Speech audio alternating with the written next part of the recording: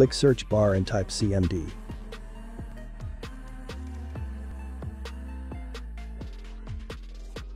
Right-click command prompt and click run as administrator.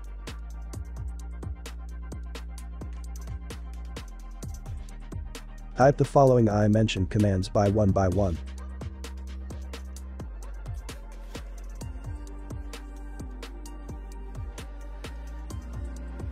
Press enter.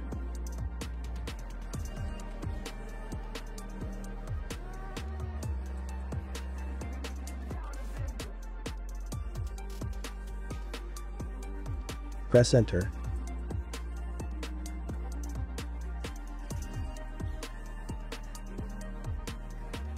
Press enter.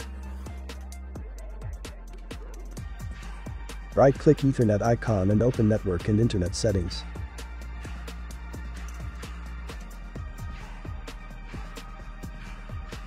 Click Change Adapter Options.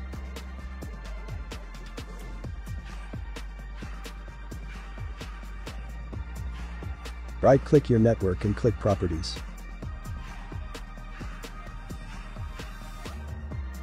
Click Internet Protocol version 4 and click Properties.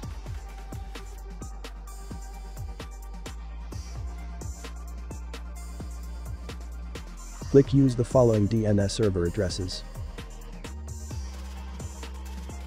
Type 8.8.8.8 Type 8.8.4.4 Click OK. Click Close. Close Windows.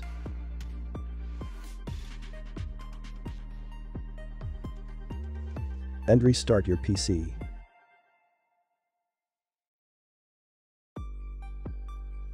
If that didn't work, click search bar and type network reset.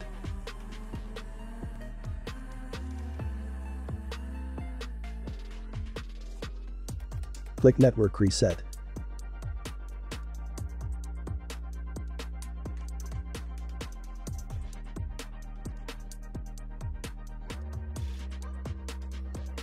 Click reset now.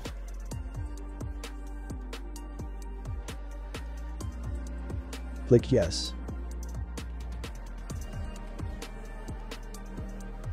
Click close. Close window. And restart your PC.